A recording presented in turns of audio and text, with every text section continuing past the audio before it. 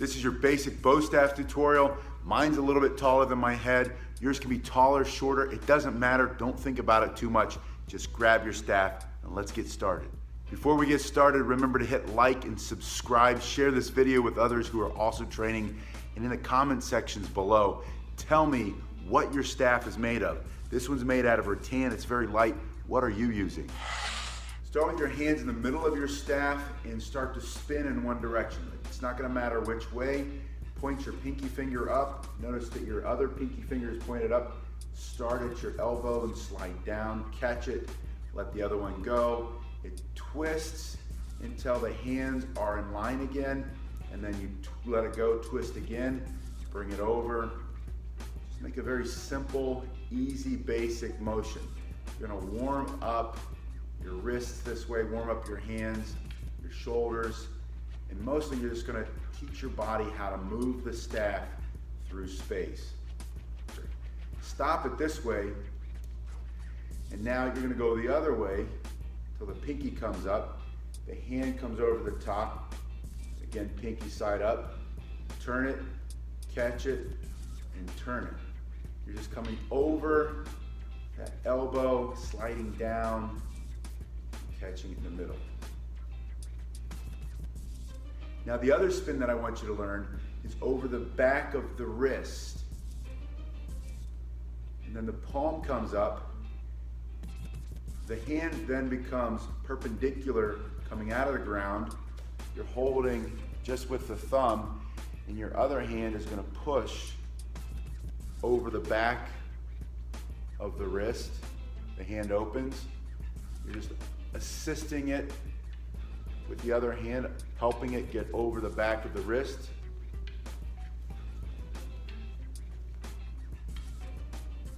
And I want you to try it unassisted. All about momentum. There's a speed that it has to move at. Any slower, it's gonna fall to the floor. Too fast, there's no such thing as too fast. You stop it again.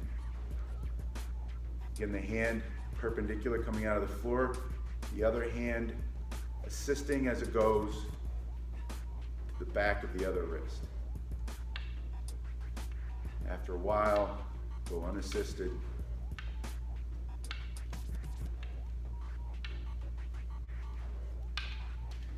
Now, in the right hand, with your right foot forward, and I say right hand, it doesn't matter, you can do right or left first, but whichever hand's in front, put that foot in front. That makes your body smaller. So as we spin, we're gonna go now into figure eight spin to the front and the back of the body. This is the front of the body, and then it comes to the back of the body. It's forward rotation. Your thumb is leading. Very simple move.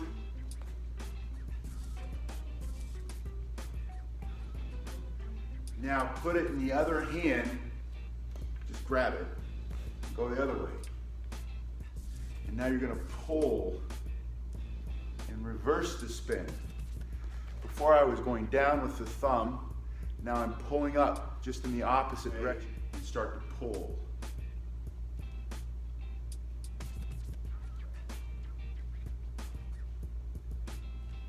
And the other hand, same kind of switch, just grab it. Don't get fancy yet.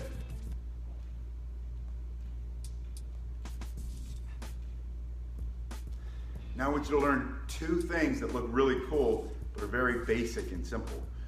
One is the transfer behind your back, and then you bring it out. Start with the staff in the right hand, come behind your back, and I want you to see what this looks like. Thumb is up, grab under, and pull it out. Bring your hand under, pull it out. So you start with the staff in front of your body, bring it behind you, pull it out to the other side. Just go back and forth a couple times. And the second one is spinning over your head. And I'm gonna kneel down and show you what this looks like. It's the one you warmed up with. It's the same spin, but it's just over your head. Go the other way. And now you put those two together and you'll look really cool. You start here, go behind your back, over your head, and keep moving behind your back.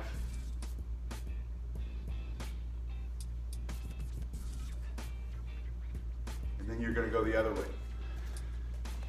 Now finally, I want you to do some strikes with me. Start with the hands here, kind of like you're doing a push-up. This is also correct, but it's a different kind of strike.